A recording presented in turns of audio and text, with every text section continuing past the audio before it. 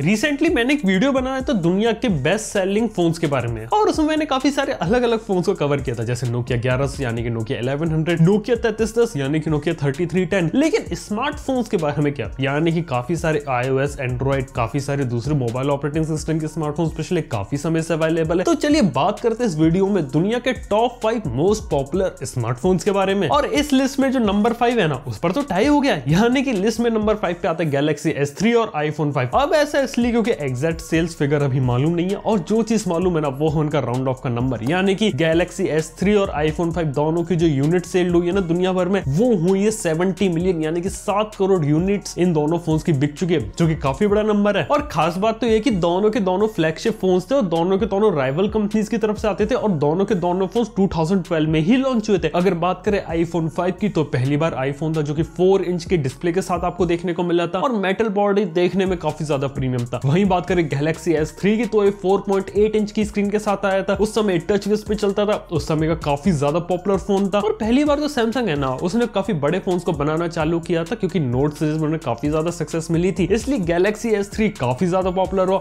IPhone 5 अपने बड़ी screen के साथ काफ़ी ज़्यादा पॉपुलर हुआ। हाँ लेकिन आईफोन 5 के अंदर आपको जो बिल्ड क्वालिटी थी ना, वो ज़्यादा अच्छी मिलती थी। जो S3 थी ना, वो प्लास्टिक बिल्ड के साथ आता था। लेकिन एंड्रॉइड फैंस ने चूज़ किया गैलेक्सी S3 को, iOS फैंस ने चूज़ किया आईफोन 5 को। और इसलिए नंबर 5 पे टाई हो जाता है दोनों के बीच में। और इसके बाद नंबर फोर पे आता है आईफोन 7 और आईफोन 7 प्लस अगर हम बात करें तो एग्जैक्ट सेल्स फिगर जो एप्पल की तरफ़ से आती है ना, वो कंबाइंड आती है। यानी कि आईफोन 7 सीरीज़ की आई है। और इसलिए दोनों है ना, वो हमारी नंबर फोर्थ पोजीशन पर क्योंकि इन दोनों की जो कंबाइंड जो सेल्स हुई है ना, वो हुई है 78 मिलियन यानी कि 7 करोड़ 80 लाख। और खास बात इन आईफोन्स की ये थी कि पहली बार आईफोन जब आए थे ना, इनके अंदर से हेडफोन जैक को हटा दिया गया था। और इंटरेस्टिंग बात तो ये हो जाती है कि जो आईफोन सेवन प्लस जो बड़ा भाई था ना, उसके अंदर आपको पहली बार डुअल कैमरास के इंप्लीमेंटेशन आईफोन में देखने को मिला था और जो पोर्ट्रेट मोड का कंसेप्ट आया था ना, वो भी आईफोन 7 प्लस के बाद से चालू हुआ था और ओवरऑल आईफोन 7 प्लस मार्केट में काफ़ी ज़्यादा बेका था, सिर्फ़ और सिर्फ़ अपने कैमरा पोर्ट्रेट मोड और टेलीफोटो लेंस के कारण। इसलिए आईफोन सेवन और सेवन प्लस नंबर फोर्थ पे हो जाते हैं हमारी इस लिस्ट में। इसके बाद नंबर थ्री पोजिशन आती है दुनिया के सबसे ज़्यादा बिकने वाले एंड्रॉइड स्मार्टफ़ोन के बारे में, जो की है सैमसंग गैलेक्सी S4 जिसकी अभी तक 80 मिलियन यानी कि आठ करोड़ यूनिट्स ग्लोबली बिक चुकी है। ये गैलेक्सी S3 के बाद आया था फ़ोन 2013 में लॉन्च हुआ था। उस समय देखा जाए तो उस समय के हिसाब से काफ़ी बढ़िया फ़ोन था, काफ़ी बढ़िया प्रोसेसिंग पावर देखने को मिलती थी। उस समय टच विस पे चलता था और उस समय आपको काफ़ी सारे कमाल कमाल के सॉफ्टवेयर फीचर्स देखने को मिलते थे इस फ़ोन में। जैसे कि इसके अंदर आपको Air View eye tracking hand gesture काफ़ी अमेजिंग फीचर थे। और उस समय जो सैमसंग है ना, अपने फ़ोन के अंदर काफ़ी कमाल कमाल को इनोवेटिव चीज़ें डालता था। और इसलिए जो गैलेक्सी एस है ना, वो इस लिस्ट में आ जाता है थर्ड नंबर पे। और इसके बाद सेकंड नंबर पे एक ऐसा फ़ोन है जो कि ना ही एंड्रॉइड है, ना ही आईओएस है।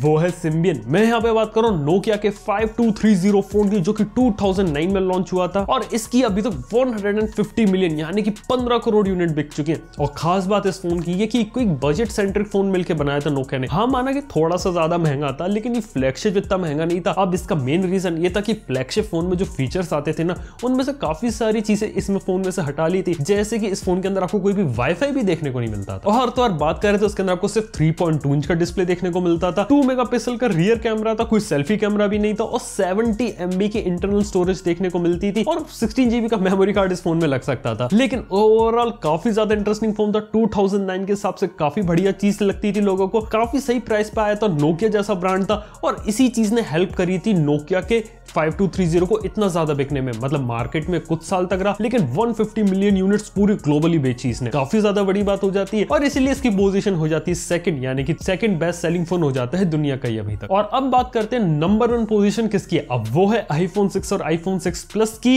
ये इन फ़ोन की जो यूनिट्स जो ग्लोबली बिकी ना, वो थी 220 मिलियन यानी कि 22 करोड़ यूनिट मतलब ग्लोबली बिकी इन दोनों फ़ोन की मिला के, जो कि बहुत ही ज़्यादा बड़ा नंबर है। और खास बात इन दोनों फ़ोन की ये थी कि पहली बार एप्पल थी ना वो दो अलग अलग आईफोन को दो अलग अलग स्क्रीन साइजेस पे लेके आई थी। यानी कि 4.7 इंच का आईफोन 6 और आईफोन 6 प्लस में देखने को मिला था आपको 5.5 इंच की स्क्रीन का डिस्प्ले जिसके कारण जो आईफोन थे ना वो काफ़ी ज़्यादा मार्केट में हिट हुए। एंड्रॉइड फ़ोन जो काफ़ी लंबे समय से बड़ी स्क्रीन के साथ आ रहे थे, अब आईफोन म्यूज़िक कैटेगरी में आ गए और बहुत ही ज़बरदस्त सेल्स हुई थी आईफोन सिक्स और आईफोन सिक्स प्लस की, क्योंकि जो लोग एक बड़ा फ़ोन लेना चाहते थे ना, उन लोगों के लिए आईफोन सिक्स प्लस आ गया था। और इसीलिए जो आईफोन सिक्स और आईफोन सिक्स प्लस है ना, अभी तक के एप्पल के सबसे ज़्यादा सक्सेसफुल आईफोन है और उस टाइम पीरियड में एप्पल ने सबसे ज़्यादा आईफोन बेचे थे अपनी पूरी हिस्ट्री के अंदर, जो कि काफ़ी ज़्यादा कमाल की बात हो जाती है। और अगर आप लोगों को लग रहा है कि आपका फेवरेट फ़ोन या फिर नए फ़ोन इस लिस्ट में क्यों नहीं है तो उसका मेन रीजन ये पी पहले से ज़्यादा आज डेट में कॉम्पिटिशन बढ़ गया है। यानी कि अब एक साल के अंदर एक ही फ़ोन का दूसरा वर्जन बहुत ही जल्दी आ जाता है। मतलब कि एक वर्जन थोड़ा अब अच्छा बिकना चालू होता है ना, तभी कंपनी उसे बंद करके उसका अगला वर्जन ले आती क्योंकि कॉम्पिटिशन जो है कंपनीज़ के बीच में वो काफ़ी ज़्यादा बढ़ गया है। इसीलिए वो कम कम टाइम में काफ़ी ज़्यादा फ़ोन को निकाल पाती है। अब पहले क्या होता था कि एक फ़ोन आता था, साल, डेढ़ साल, दो साल तक मार्केट में रहता था, इसलिए उसकी इतनी ज़्यादा यूनिट्स बिक जाती थी। अब छह महीने के अंदर अगर फ़ोन डिसकंटिन्यू हो रहा है तो कैसे दुनिया का बेस्ट सेलिंग फ़ोन बन सकता है? ये भी एक सोचने वाली बात है। और दूसरी सोचने वाली बात यह कि जो बेस्ट सेलिंग फ़ोन है ना, ये सब एक ही टाइम पीरियड के बीच में लॉन्च हुए यानी कि 2012 से लेकर 2015 के बीच में इनमें से मेजोरिटी फोन्स को लॉन्च किया गया था। और अच्छी बात यह थी कि उस समय स्मार्टफोन्स का एक गोल्डन पीरियड चल रहा था। यानी कि सबसे ज़्यादा जो सेल्स देखी गई अभी तक पूरी हिस्ट्री में स्मार्टफोन्स की, वो 2012 से लेकर 2015 तक देखी गई है और उसके बाद ग्लोबल स्मार्टफ़ोन शिपमेंट में डिक्लाइन देखना चालू हुआ है। और अभी तक वो डिक्लाइन आपको अभी तक देखने को मिल रहा है, यानी कि काफ़ी सारे लोग थे जिन्होंने उस समय पहली बार अपने फ़ोन को खरीदा था और वो धीरे धीरे करके स्विच कर रहे हैं। यानी कि पहले जितने फ़ोन बिका करते थे, आज के समय में फ़ोन उतने ज़्यादा नहीं बिकते हैं। लेकिन अच्छी बात यह है कि काफ़ी इंटरेस्टिंग इंटरेस्टिंग फ़ोन आपको रोज़ाना देखने को मिलते रहते हैं। और देखने वाली बात यह होगी कि आने वाले समय में रियलमी रेडमी या फिर किसी और कंपनी का कोई दूसरा फ़ोन इस लिस्ट में अपनी जगह बना पाता है या नहीं बना पाता। वैसे आप लोग क्या लगता है कि आपका फेवरेट फ़ोन या आपकी फेवरेट कंपनी इस लिस्ट में फ्यूचर में आ सकती है या नहीं आ सकती? मुझे नीचे कमेंट बताना बिल्कुल भी ना भूला। अगर वीडियो पसंद आया तो लाइक कर लेना चैनल को भी सब्सक्राइब कर लेना, ऐसे ही अमेजिंग वीडियो के लिए। मैं आपको मिलता हूँ नेक्स्ट वीडियो में। थैंक यू आपका वीडियो देखने के लिए। Good bye